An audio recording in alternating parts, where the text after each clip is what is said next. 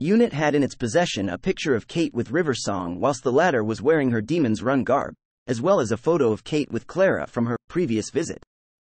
TV, the day of the doctor. She ordered the airlifting of the TARDIS to London, to the agitation of the 11th Doctor. Kate summoned him there under the royal orders of Elizabeth I, giving him a sealed letter from the Queen and proving her credentials by showing him the impossible painting Gallifrey Falls no more within the National Gallery. The letter decreed that the doctor be made curator of the under gallery and that he be summoned should there be any disturbance there. Kate led the doctor and Clara Oswald to the scene of the disturbance. There, she showed them more paintings, all landscapes with glass on the floor next to them.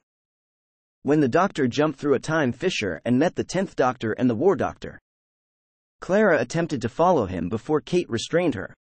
As she left the room to request important unit files, Kate was accosted by a Zygon who had escaped through one of the paintings and then took her image and pretended to be the real Kate to Clara Oswald. Osgood saved her from the Zygon nest.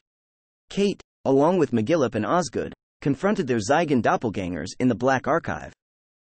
Kate ordered the countdown to detonate the archive with a nuclear warhead which would not only prevent the Zygons from having control of the many weapons stored there but would also destroy London in the process.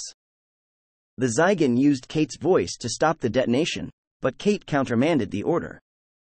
Kate and her Zygon counterpart bickered over the detonation.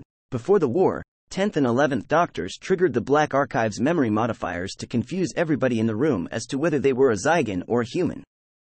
The two Kates stopped the countdown and negotiated a peace treaty. TV, the day of the Doctor.